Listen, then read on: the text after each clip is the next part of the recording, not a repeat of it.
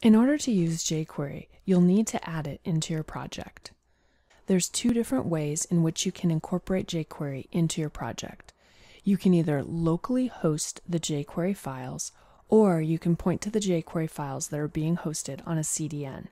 Let me show you how you can do this using both of the methods.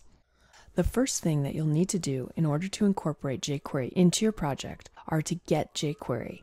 You can go ahead and get jQuery by going to jQuery.com. The jQuery.com website has all sorts of information in regards to jQuery. It not only will let you download jQuery or point to a CDN, but it's also going to give you information about the jQuery project. In addition, it has robust documentation so that you'll be able to find out more information about jQuery. For right now, we are simply going to get jQuery incorporated into our project. To do that, I'm going to click the Download jQuery. This will allow me to download the most current version. If you click on this, it's going to take you to the jQuery.com download page. On this page, it's going to give you a bunch of information about how you can incorporate jQuery into your project.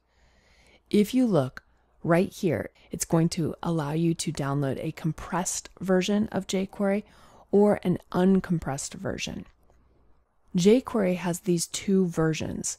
The uncompressed version is best suited for development or debugging, while the minified or compressed version is recommended for production because it saves bandwidth and improves performance due to its smaller file size.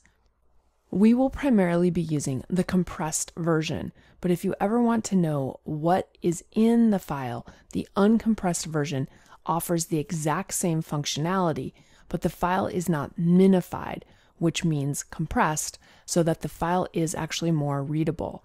If you click on either of these links, it will actually show you what the jQuery looks like. So you can see when I click on the compressed version, this pretty much looks like a bunch of gibberish. The computer can easily understand this, although it's going to be very difficult for us to understand.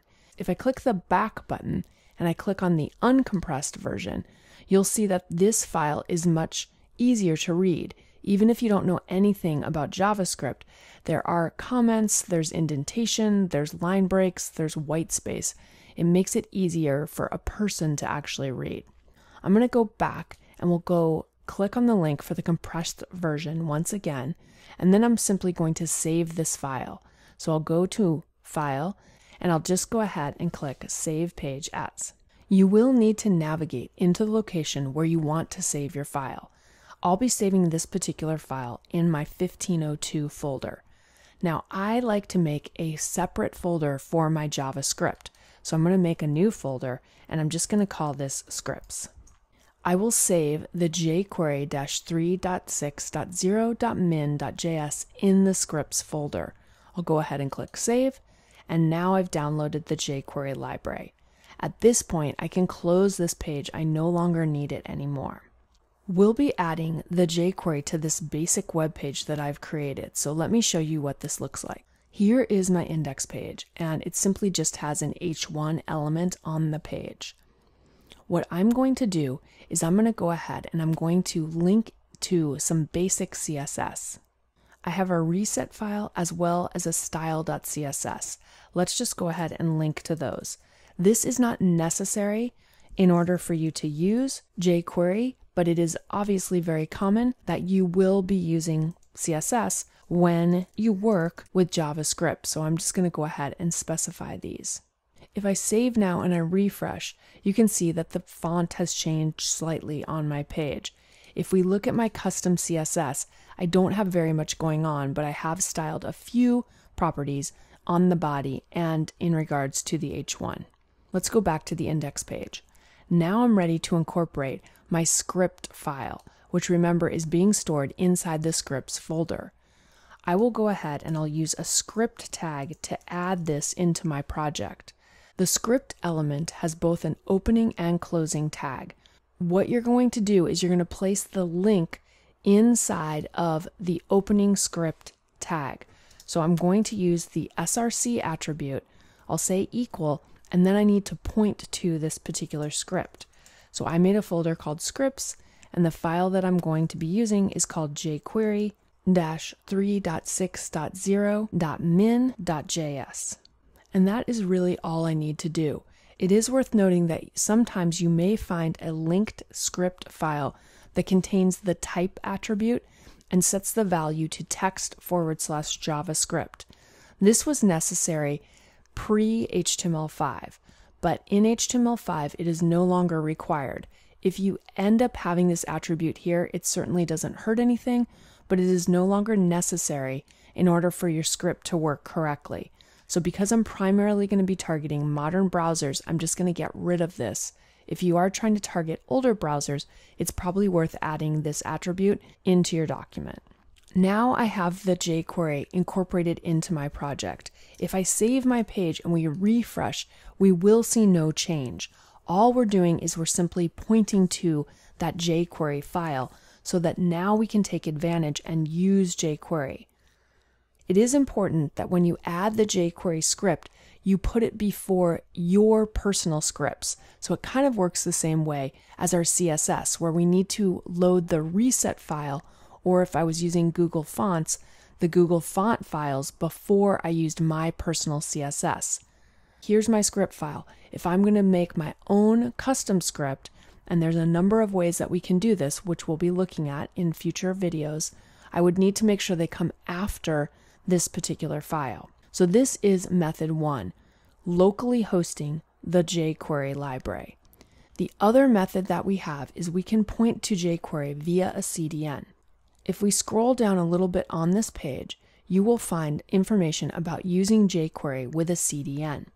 CDNs can sometimes offer performance benefit by reducing the load time because they're hosting jQuery on multiple servers that are spread across the globe when the user requests a file, it'll be served from the server nearest to them. Since many, many websites use jQuery, there's a good chance that the visitor has already loaded the jQuery from that particular CDN and it's been cached on their computer. Therefore, you don't have to wait for them to actually load it. jQuery offers several suggestions as where you can get the jQuery CDN file. I generally use Google, but any of these would be a good option. I'm going to go ahead and I'm going to click the link for Google, which is actually going to take me to the Google hosted library webpage. On this page, Google actually hosts all sorts of libraries. So we're interested in jQuery, and it took me right to this particular area. We want to be using the newest version of jQuery, which is the 3.6.0 and you can see that it provides me with some HTML code. I'll copy that. Before I leave here, it is worth noting that you can also link to older versions of jQuery. And you might be wondering, why would I want to use an older version of jQuery? Well, once we get into plugins, some of the plugins are not always compatible with the newest version. If you had a particular plugin that you wanted or needed to use on a project, you might have to go down a couple versions on the library in order for the plugin to work correctly. So, in this way, you can actually access any of these older versions of jQuery if you need to. But for our purposes, we're just going to use the newest one. I'm going to go ahead and I'm going to comment out this locally hosted script, and then I'll just paste in the CDN version of the script. This really looks very similar to my own script that I used earlier. The only difference is the source value is pointing out to the web and accessing the jQuery.min file from Google. So now you understand two ways in which you can incorporate jQuery into your project. Let me just show you quickly how we can put jQuery to use so that we can test and make sure that jQuery is working. I'm going to do something very simple, and all I'm going to do is change the color of my header. Now, this is something that we could very easily do with CSS, but for right now, I'm just going to demo this using jQuery so that you can get an idea of how we can actually use jQuery. I'm going to go ahead and make another script tag. It is worth noting that I load the jQuery library first and then I make my own custom script tag and then what we need to do in order to use jQuery is we're going to go ahead and we're going to find out if the page has been loaded. We do that by loading something called the document ready function. So I'm going to put dollar sign and in parentheses I'll write document. Then I'm going to put dot ready. Then I'll open parentheses and I'll write function. I'll put open close parentheses and a curly brace. I'm going to hit a return and inside of the curly brace is where we write our jQuery code. Once again, I'm going to use the dollar sign, which is the method in which we select items using jQuery. Inside of parentheses, inside of quotes, I need to specify what it is that I'm selecting. In this case, I am selecting the H1, and then I'm going to pass on a particular method. We'll be using the CSS method. So I'm going to go ahead and put dot CSS. Once again, in parentheses, inside of quotes, I'm going to write the property that I want to affect, which in this case is color. And then I will write a comma, and then I'm going to put quote again. And then we'll go ahead and we'll specify a hex value. And that is it. We will terminate this statement with a semicolon, similar to how we terminate statements in CSS. And I'll save. So what's happening here is we're going to perform a simple jQuery operation which will change the color of our H1 element.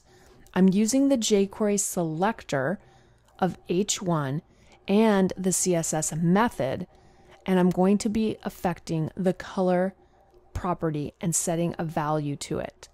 The method will run when the document is ready, which is going to be determined by the ready event. We're going to learn more about the jQuery selectors, events, and methods in upcoming videos, but let's just save this and let me show you what happens on my web page. When I refresh my web page, you'll notice that the H1 now changes to be blue. So we know that jQuery is working. If I comment out the CDN version of jQuery and uncomment out my own custom link to jQuery and save the page, the page will again look identical because it is reaching the jQuery. If we had no link to jQuery, so if I comment out both of these and we save and refresh, you'll see that the text is no longer blue. It's going to revert to being black. So now you know how simple it is to add jQuery into your file. The next thing that we'll need to do is just learn how to harness the power of jQuery and understand some of the syntax.